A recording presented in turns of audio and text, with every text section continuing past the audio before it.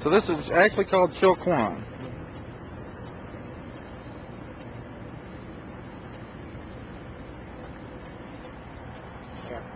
Yep.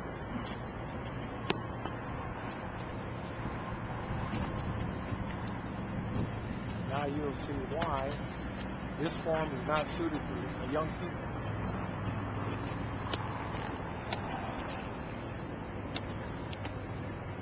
Okay, there's that one. Uh huh.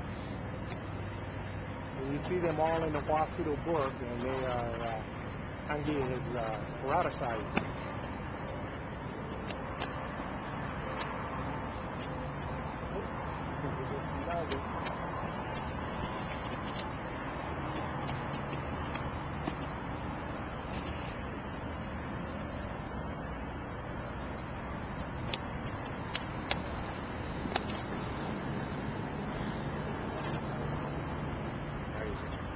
Yeah.